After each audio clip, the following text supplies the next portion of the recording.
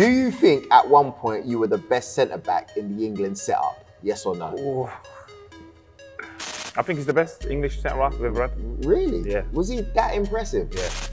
Is Vincent Kompany that much better than you? Yes or no? Yes, ladies and gentlemen, we are back doing the lie detector test. Massive shout out to BT Sport. They got myself, Joel Beya, and the Man City legend himself, Mr. Joleon Lescott. What are you laughing for? Because you made me laugh. Because Man City got legends now. That's why he's laughing. Okay, listen, thank you very much for coming on. Sometimes I speak to you, bro, and I'm not sure whether you're telling the truth or not. But today we're going to put that to bed. Let's start with question number one. Are you ready, Mark? Ready? Mark is our operator, vigilator, to make sure that Joleon ain't chatting rubbish. Okay, let's go for it. Are Arsenal winning the Champions League? That's that's not a question. Well, we, we got to test it, innit? Oh, Are Arsenal winning the Champions League this year? Yes or no? no. All right, cool. So it works. Just checking if it works or not, innit? Okay. Do you think? Come on. Do you think the league title is done now that you've signed Haaland? Yes or no? Yes. Okay. Why? Why is that? I think the favourite should always be the team that won it last year, and City have strengthened their squad. Everyone's talking about they needed a striker. They got the man himself, so yeah, it's over. You you think it's done? We spoke No, no, dude, I'm, yeah. not, I'm not. I'm not. I'm not arguing with you, bro. I think it's done. Yeah. Like dusted. But uh, also, I also think the biggest challenge was Liverpool, and I don't think that's going to be as hard uh, as easy for them now without Mane. I think they've lost a big, big boy player in him. You know? um, mass- we don't know how Darwin Nunez is going to do. Yeah, I know. they'll be good, but Yeah, Sadio was a problem. world class player. And I think some players like that, you only appreciate them once they've left. Yeah. Do you think Yaya Toure was a better player than David Silva? Yes or no? Yes. Oh, wow. Because you're saying player. If you ask me footballer, I would say David Silva. Well, what's the difference though? Because for me, it's the same. No, thing. player is like, like David could play well and we could lose. Yeah, Yaya played well, we won. The game was done. So that's why I would say player. Like I think the player is a person that is if he plays his best, the game's done. Never saw it that way. Yeah. And uh, I think there's a few of them. like, Gerrard, Rooney. Yeah, Them boys never got man of the match and they lost. You know what I mean? yeah, He just yeah. won the game. yeah, yeah, yeah. Where I think there's other world class players that oh he was outstanding today and the, the team let him down. They didn't allow the team to let them down. They just controlled the whole scenario.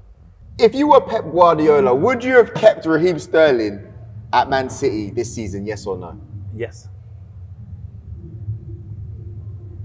I thought you was trying to be. Nah, I, I'm a good- big fan of Raheem, massive fan. Raheem. Nah, Yeah. like I, I- know him, but I don't know him that well. But I mean, in regards to what he's done for the club and what he's he's done in his career, yeah, I don't know how it's not a bad thing. I understand why he left the club, sold him, and he wanted to leave. I understand that, but in regards for him as a player, who wouldn't want that level of player in their squad? Of course, I think when I saw him go to Chelsea, I thought, you know what, he's going to earn good money.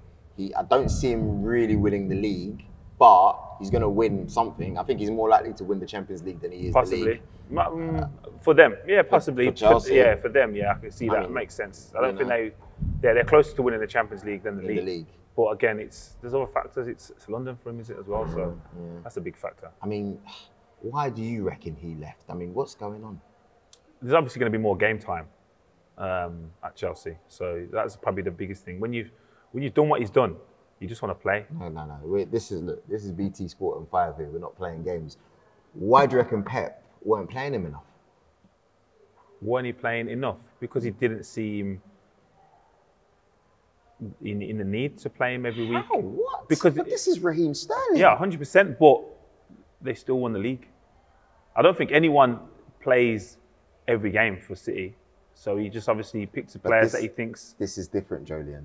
This guy in the last four or five years, Yeah. besides Kevin De Bruyne, and obviously you got We other key yeah, players, yeah, yeah, yeah. but he has been the goal machine. Oh, 100 percent. I'm not doubting him. Mm-hmm. Like I'm just saying, why isn't picked him because he's felt not the need to, to not pick him. Uh, that, that doesn't make sense to me. You need to have. need But to it's justified in, in, terms of them winning the league. I don't know, man. This is big Razza, you know. This Yeah, no, it's a big deal. This is big I'm a fan. you know? Yeah, I'm a fan. I'm, I don't know. I'm just trying to get insight. Like, I don't know. yeah, all right, cool. That's, that's all I needed to know. All right, next question. Do you think at one point you were the best centre back in the England setup? Yes or no? Ooh.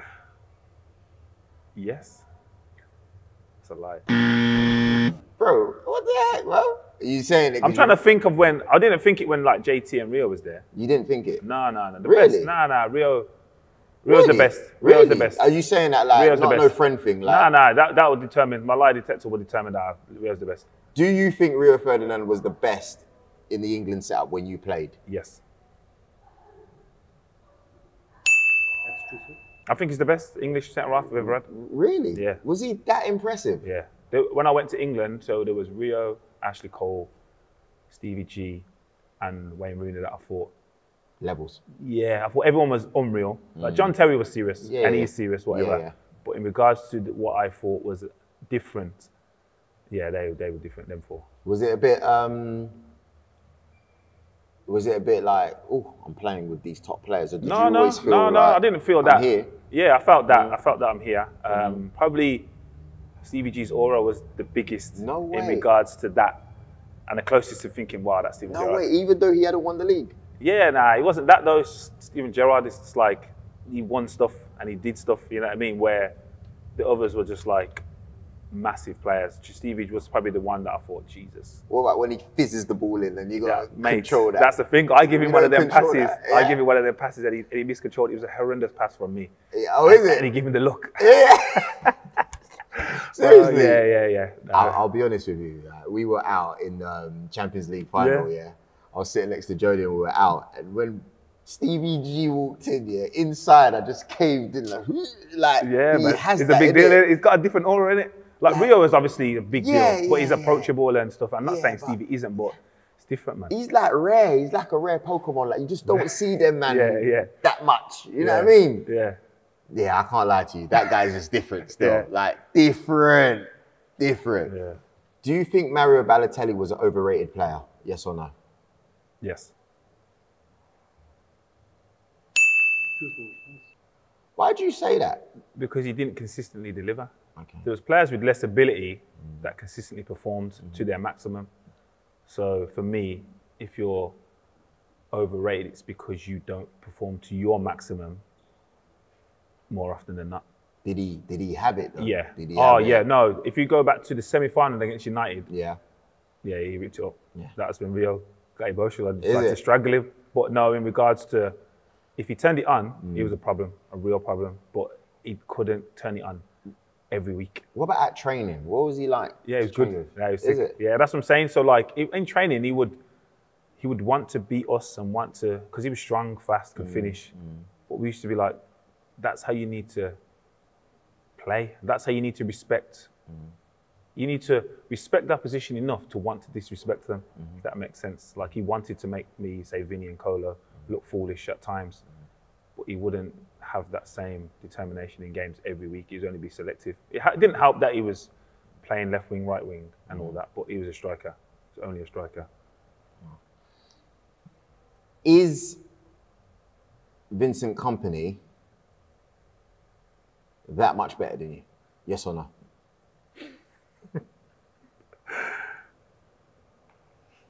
Answer the question. Yes. Yes. I don't, I don't know. Yes. Yeah. Yeah, I think at the times we played together, I think yeah because he was that was his peak years. Mine were before that, Okay. um, and I understood the need to do mm. what's right by him to play. Mm.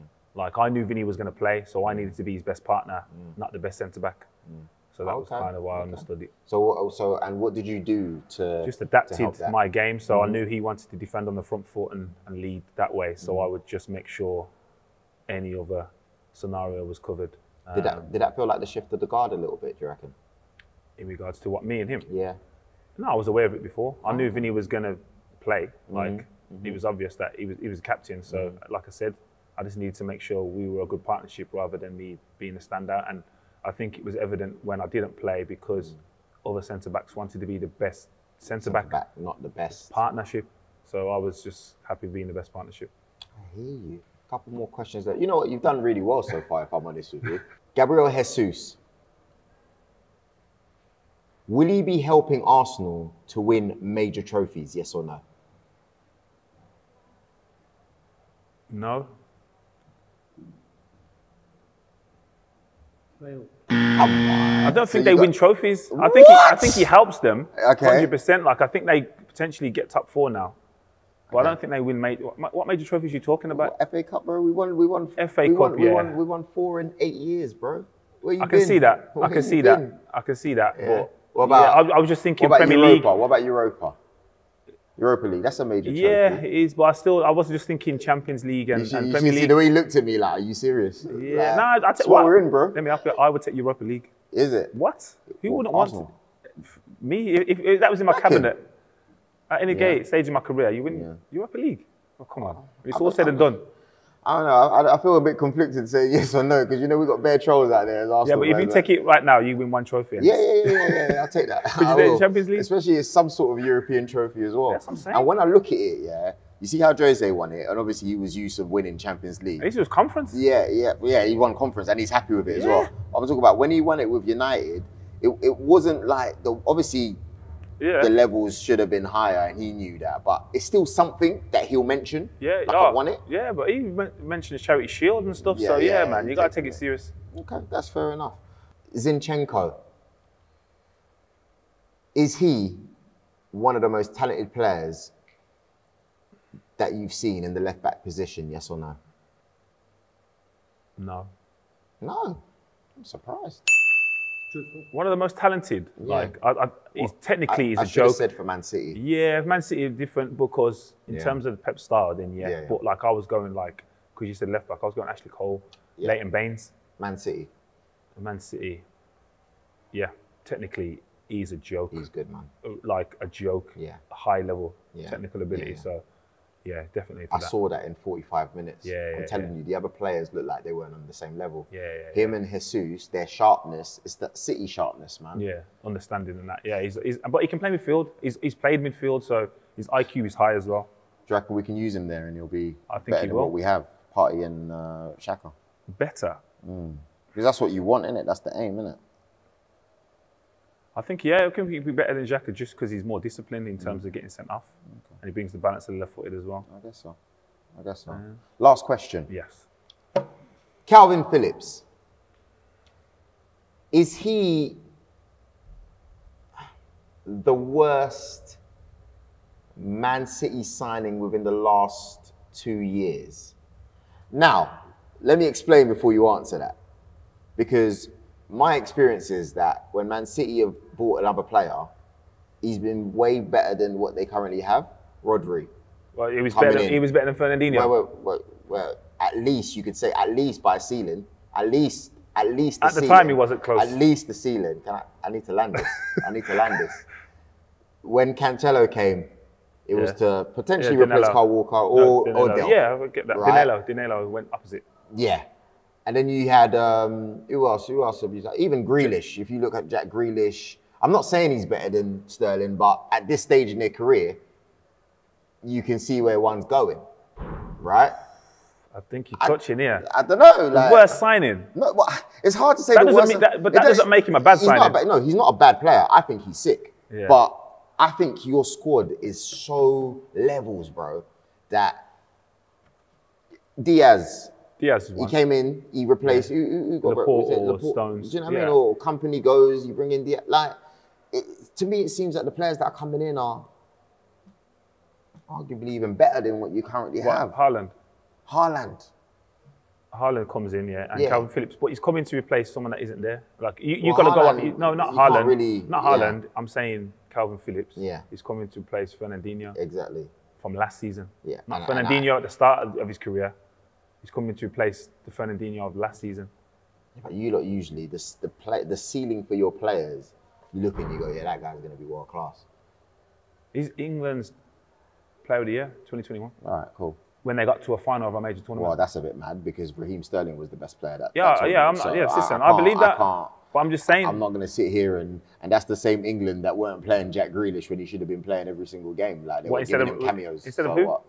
Who's Jack playing head of Raheem? No, but they could have made it work. they could have made it work. You know, they could have made it work. Could have made it work more, but nah, I, I, it's not a bad signing. No, I don't think it's a bad signing. I just mean, I don't think it's City's best signing. I think it's the most sensible signing Okay. because if you're going off, who else could you sign in that position? Declan Rice. It's costing you three He- times he's as much. Not worth, he's not worth 150. People say that. To West Ham, he's worth like Jack Grealish.